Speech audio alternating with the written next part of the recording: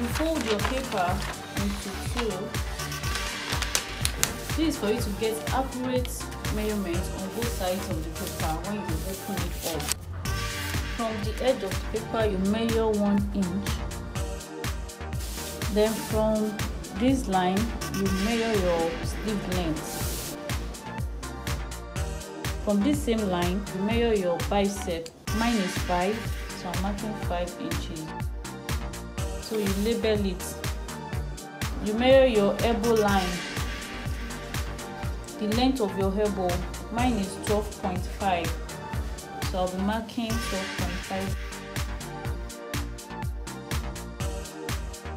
so on this your bicep line you take the circumference of your bicep. Mine is 13 so i'll be marking 13 divided by 2 which is 6.5 so i'll mark 6.5 here the circumference of my elbow is 11 inches so divided by 2 so i have 5.5 inches. I mark that. Then on my wrist line the circumference of my wrist is 9 inches so 9 divided by 2 i have 4.5 so i'll be marking 4.5 then i will join the lines together. I'll be adding allowance so i'll be adding 1 inch allowance all through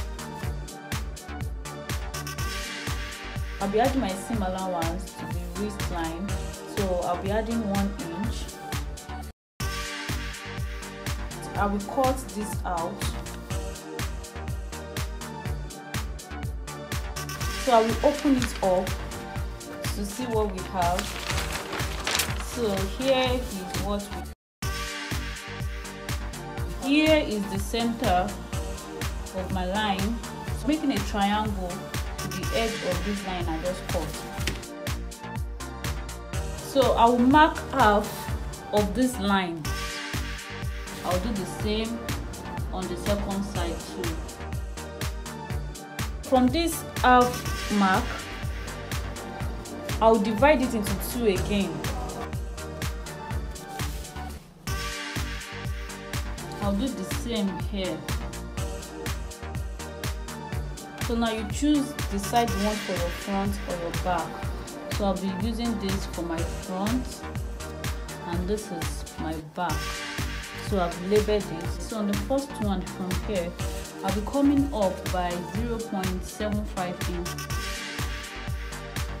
on this line here i'll be coming up by 0.25 inch the last line i'll be coming down by 0.25 inch. I'll join the points together.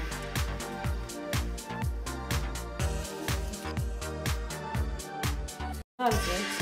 So now let's come back to this back line. From here, I'll be going up by 0.5 inch. Then here I'll be coming up by 0.25 inch and here I'll be coming down by 0. 25 inch or connect the lines together. All right so that is what we have here. So i will cut out this. This pattern has been so so so helpful you give it a notch so that when you are cutting it on your fabric you'll be able to differentiate which one is back which one is the front so i'll be putting one thick line here just to indicate that this is the front and two thick lines here just to indicate that this is the back. So that's it guys. It's very very simple. So you have your basic sleeve pattern. So i hope you try it and give me a feedback thank you for watching guys. I love you. Bye. See you in my next video